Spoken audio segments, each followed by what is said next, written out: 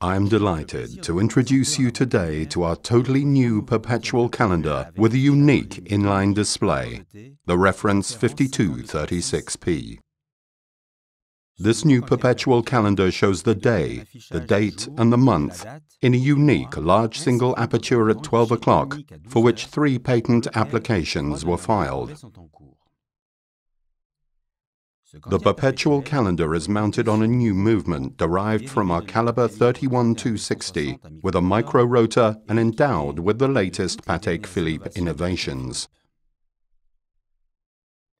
This new linear perpetual calendar is being launched in an elegant Calatrava case in platinum. It has a blue lacquered dial with a black gradation and a vertical satin finish. The baton style hands and hour markers are made of white gold. Since 1925, Patek Philippe has been crafting pocket watches with inline perpetual calendars predominantly for the American market. We took our inspiration from this reference 725 Stroke 4 pocket watch from 1972, which is on exhibit at the Patek Philippe Museum. For the first time, we have now built an inline perpetual calendar for a wristwatch. The pocket watch with a diameter of 46 mm was much better suited for this type of display because given its clearly larger format, it could accommodate a single date disc with all 31 dates, while providing a crisply legible display. Conversely, our reference 5236 has a smaller diameter of only 41.3 mm. For the reference 5236 in platinum, we were inspired by the reference 5235 in white gold, the annual calendar regulator from 2011. In the reference 5235, the case band is satin finished, but in our new reference 5236p, it is polished and set with a diamond at 6 o'clock, as in all of our platinum watches. We see the hours and minutes from the center and the subsidiary seconds at 6 o'clock. At 12 o'clock, we have the inline display with the day, the date, and the month in a single aperture. All discs are coplanar, meaning they lie in the same plane. At 8 o'clock, we have a day night aperture. At 4 o'clock, an aperture for the leap year cycle. The moon phase display is located at 6 o'clock and is coaxial with the subsidiary seconds. We have a two-position crown, pushed home for winding, pulled for hand setting. There are four correctors. Moon phase corrector at 8 o'clock, day corrector at 9 o'clock, date corrector at 10 o'clock, month corrector at 2 o'clock.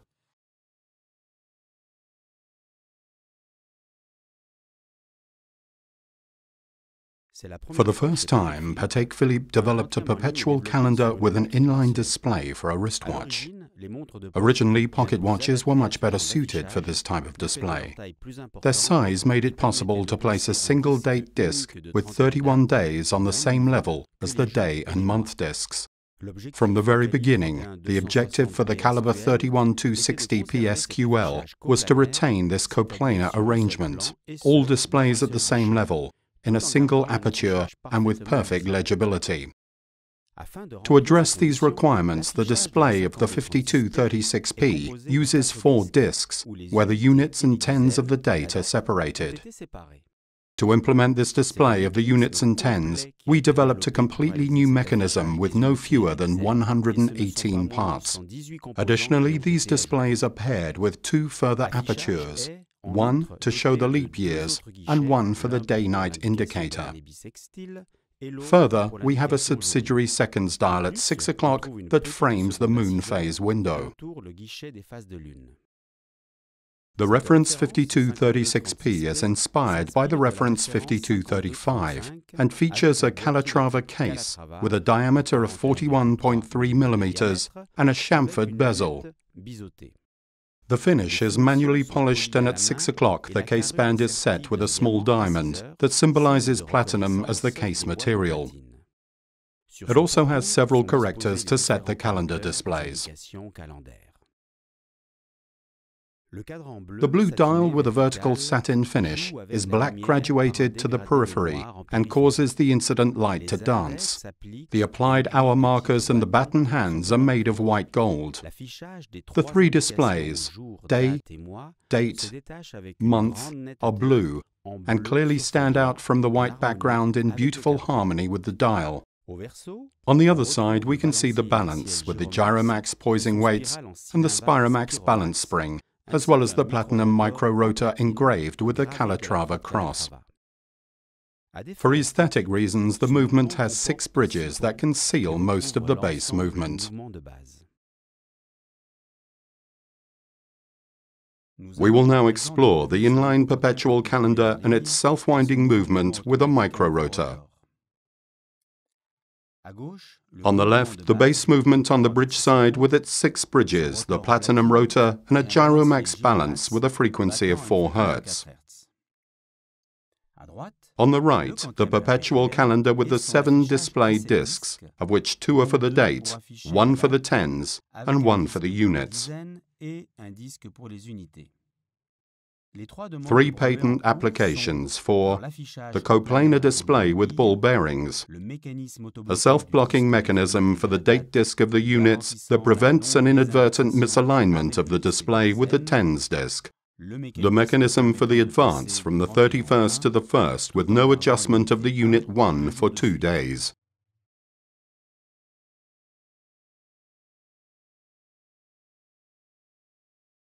The perpetual calendar mechanism is located on the dial side of the new caliber. The coplanar arrangement of the seven discs for all displays day, date, month, leap year cycle, moon phases, and day night information is noteworthy. We expose the mechanism because it is covered by the three bridges and the discs.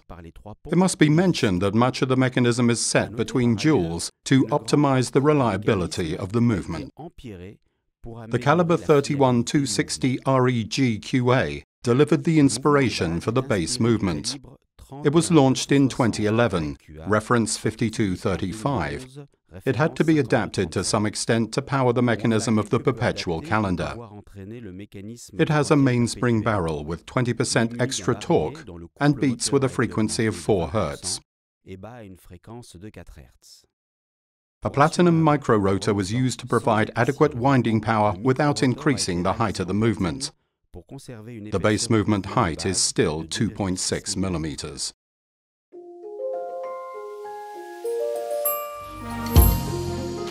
A perpetual calendar is a mechanism that automatically recognizes the duration of each month, anywhere from 28 to 31 days.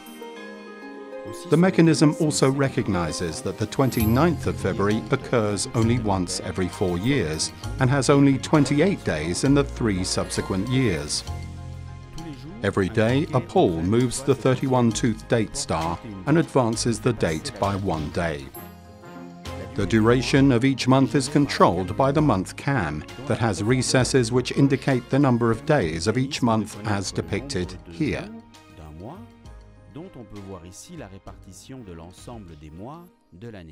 For the month of February, a special additional cam, also called a satellite, has four control notches. The one for the leap year is slightly higher and marked with the number 4.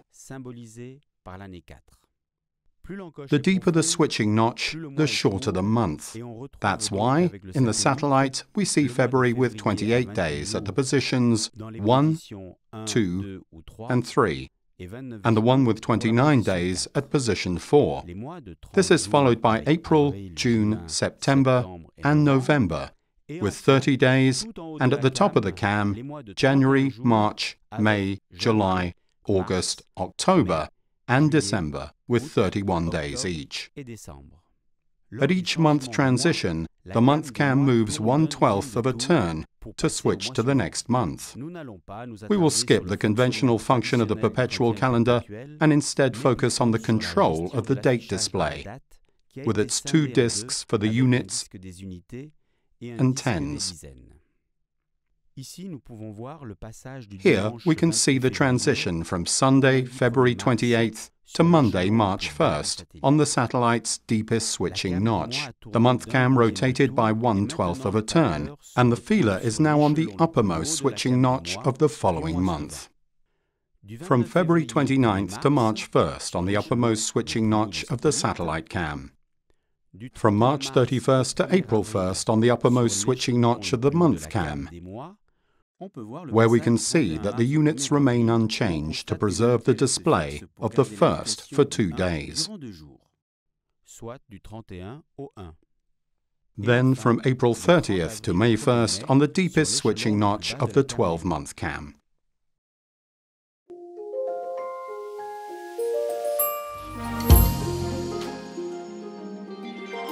The inspiration for our reference 5236 came from the reference 725 stroke 4 that was launched in 1972 and now can be admired at the Patek Philippe Museum. This pocket watch features an aperture display on one line with the à l'américaine format because the display begins with the month. It was already a coplanar display that showed the month, date and day on the same plane and in a single aperture. The coplanar display of this pocket watch was not really technically complex because the date disc with 31 days was retained and the height of the aperture, 1.7 millimeters, offered good legibility for a pocket watch.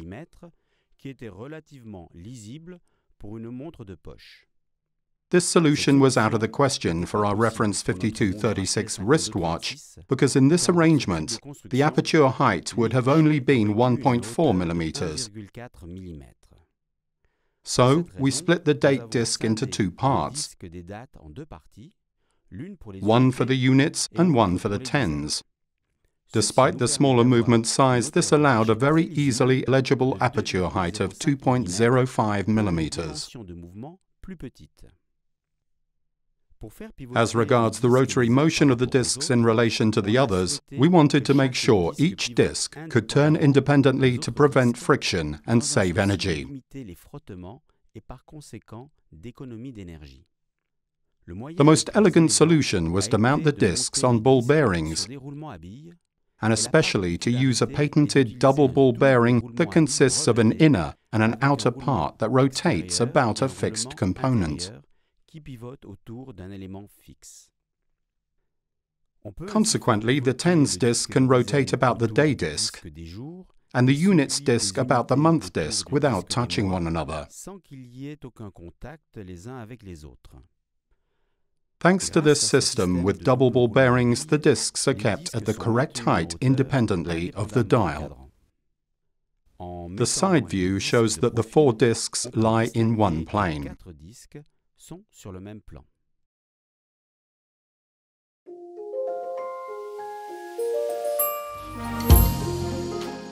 In the video, we can see that the jumper of the large lever advances the 31-tooth date star by one tooth every day at midnight to change the date from the 18th to the 19th, from the 19th to the 20th, etc. At the same time, we can also see the catch-up finger that is in contact with the catch-up cam. Having reached February 27th, the catch-up finger passes the catch-up cam on the return of the main lever. Then, the catch-up finger begins to move the catch-up cam during the night from February 28th to March 1st. This also causes the date star to rotate from the 28th to the 29th, then to the 30th, and finally to the 31st. Together, the jumper and the catch-up finger now advance the dates from the 31st to the 1st of March. When changing to March 1st, the month cam performs one-twelfth of a turn, and with the uppermost switching notch, positions itself at the month of March because it has 31 days. At midnight, the cycle begins anew, and the jumper of the main lever moves the date star to advance the date to the second, then to the third, and so forth. How can we switch from the 31st to the 1st without moving the units disk? This is how the trick works.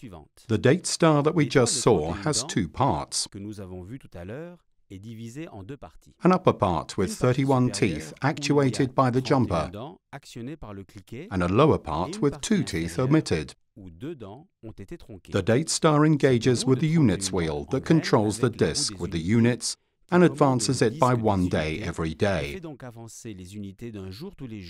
When it arrives at the 31st day, the 1 must remain where it is.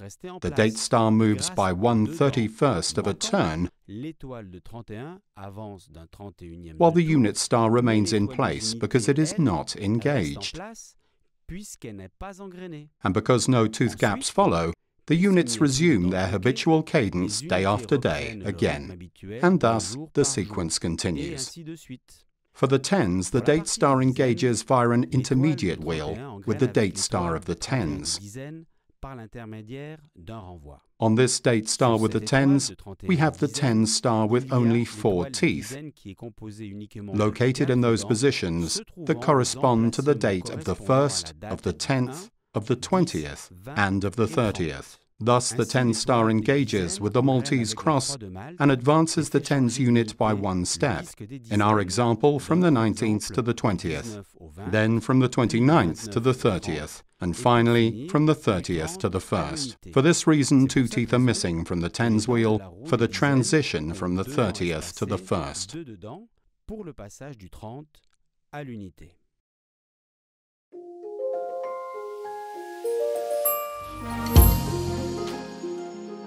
Another issue was the solution for the energy consumption of the display mechanism, which requires two additional wheel trains, one for the tens and one of the units. A reminder, this complex display mechanism alone consists of 118 parts. To optimize the efficiency of the wheel trains, almost all wheels are set between bearing jewels, total 55 jewels the energy is transmitted from the movement via a minute wheel added specifically for this purpose. To limit and reduce energy consumption of the units and tens disks, we had to create a self-blocking mechanism for the wheel train so that the jumpers serve only to center the displays. In the case of a jolt, this prevents the wheel train from misaligning. For the tens train, we opted for a Maltese cross, in which a square interacts with a cylindrical surface and assures that the wheels cannot turn outside the authorized movements, four times a year. For the units train, we developed a patented self-blocking mechanism in which two disengaged wheels suppress the rotation of the wheels as long as the date is not driven. The unit's disk is powered by the date wheel via a drivetrain that consists of a self-blocking wheel which carries two wheels, one of which is fixed, the other spring-loaded. Due to the pressure of a spring, these two wheels tend to disengage. So the date wheel drives the wheels. The spring wheel rests against a leaf of the pinion with four leaves, while the fixed wheel continues its path and then drives the pinion with four leaves that causes the unit's disk of the date display to jump. After the jump has taken place, the spring wheel retracts from the fixed wheel again. In the event of a jolt, the four-leaf pinion contacts the tooth tip of the spring wheel and prevents the unit's disk from switching the date. After the jolt, the unit's disk is repositioned by the jumper. By the way, the inspiration for this patented mechanism comes from the surprise piece that we can find in minute repeater mechanisms. It guarantees that no minutes are struck at full quarter hours. The reference 5236, with the new inline perpetual calendar in a single aperture, fills a gap in our collection of perpetual calendars because this type of display was reserved for pocket watches so far. Thanks to the new patented display mechanisms, we succeed in implementing an even larger display in a wristwatch than in the pocket watches.